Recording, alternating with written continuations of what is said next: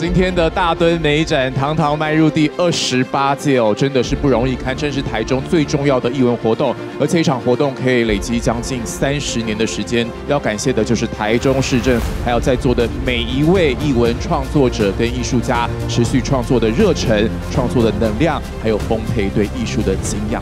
谢谢你们，过去一年持续的创作，在今天要上台接受属于你们的荣耀。八年前，我们开始大墩美展，从地方性的美术竞赛。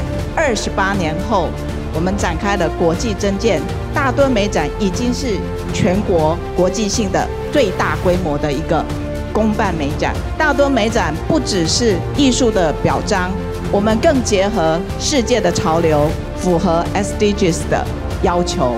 大墩美展。让我们的艺术家有一个跟其他艺术家互相交流、互相启发的这个平台。我也要代表市长跟我们文化团队们致上最诚挚的敬意跟谢意。要特别特别谢谢我们十一位筹备委员啊，五十五位评审委员，在艺术行政、文化行政方面也给我们很多指导。在这边也代表卢秀燕卢市长。恭贺我们所有的得奖者！恭喜我们所有的得奖者